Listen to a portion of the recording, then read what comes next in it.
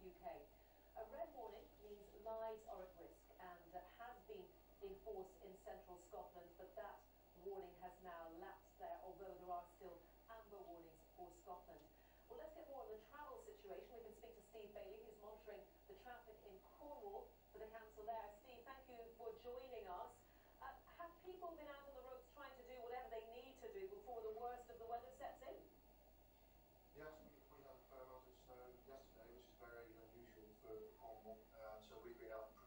Treating our main rigs for the last